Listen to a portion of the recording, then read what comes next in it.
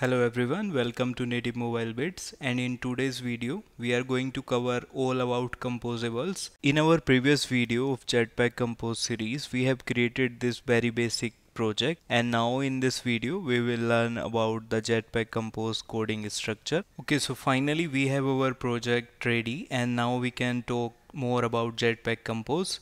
So with this dummy project which our Android Studio created for us, we can see that there is load of composables here and there inside our project. That's because Jetpack Compose is built around these composable functions and with the help of these composable functions we can define our application's UI and then we can pass the data as well inside these composables. As before we have our on create method inside our activity one difference to note here is now main activity is extending this component activity.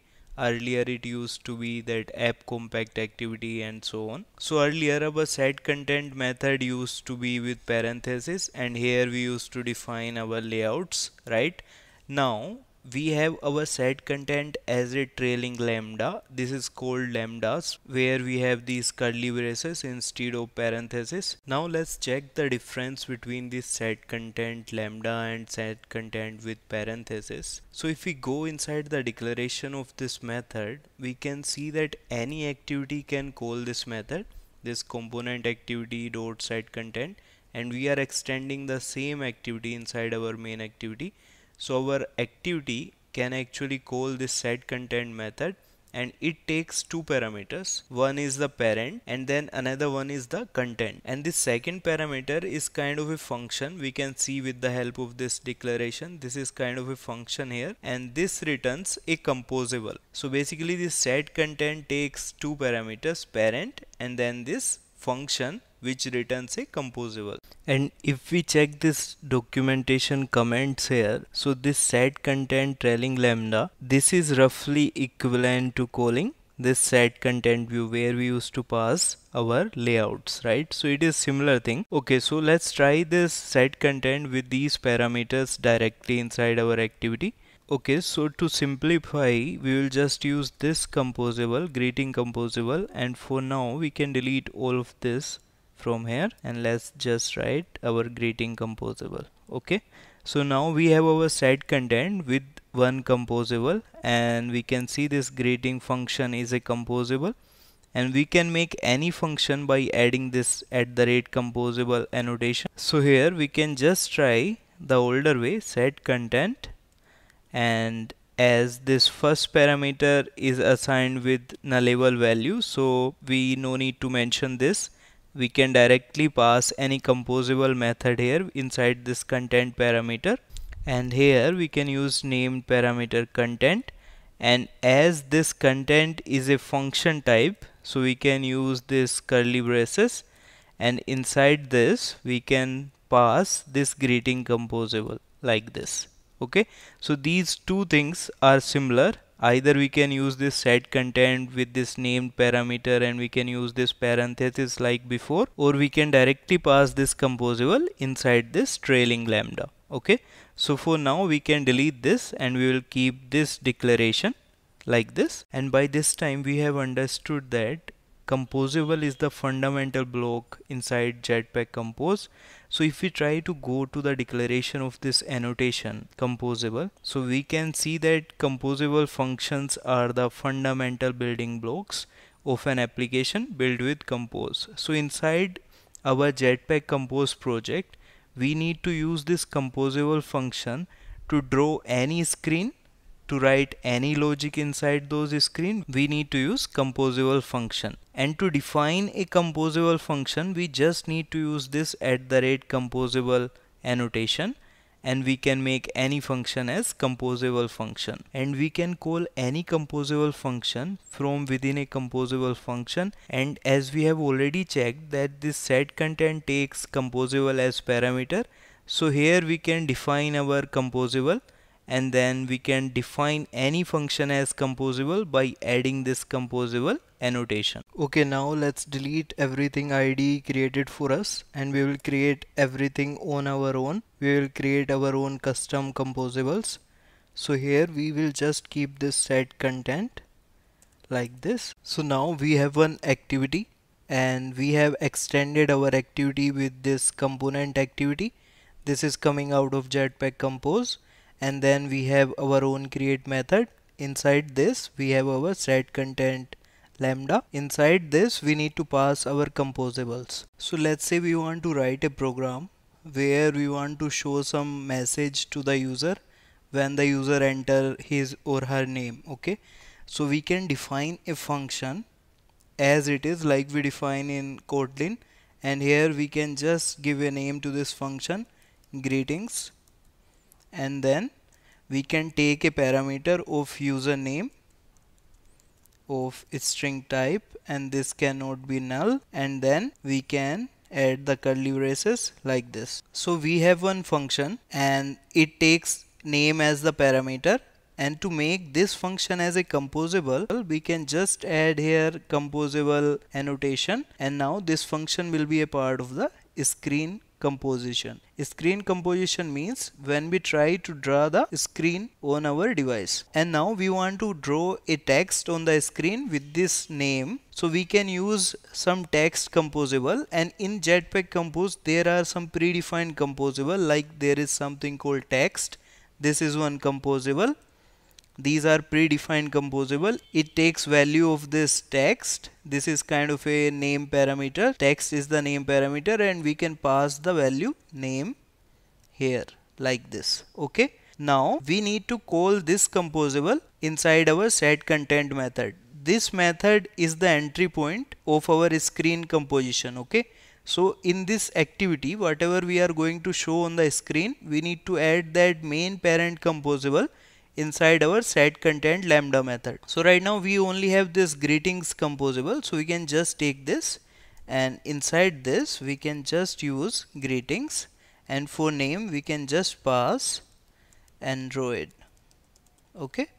And if we want to see how our screen is looking right now we can define a function. We can name it anything we want but we can right now name it default preview like this and here whatever we are adding inside set content the same thing we can just copy paste inside of a default preview function. And as this greetings is a composable we can only call this greetings from a composable method itself. So let's make this default preview function a composable. And to see the preview of this screen we have one annotation called preview. Preview. This is also a part of the jetpack compose library. If we hover the mouse over it we can see this is coming from compose.ui.tooling preview. And here we can also add if you want to see some background on the screen show background. And we can add true. Okay? Like this and now if we try to split this so we can just see our preview is rendering. And let's minimize this a little. So it is showing us there is one text and then there is some background. Because of this if we make this false there will not be any background. If we try to render it again like this now there is no background so let's make it back to true. And now it will re-render with this background here. So with the help of this preview annotation we can just check how our screen is going to look like in the real device. And let's try to run our application on a emulator and let's see how our app is looking in the real device. Okay? So our emulator is starting and our application is installing and we can see that we have one android text over here which we was passing inside our function. Let's minimize this for now. Let's make it code. And if we want to make any changes in this we can just add here inside text value or either we can pass the change from here. So let's make some changes here. We can just add hello space and then we can add this dollar symbol to take reference of our name value and now let's try to run again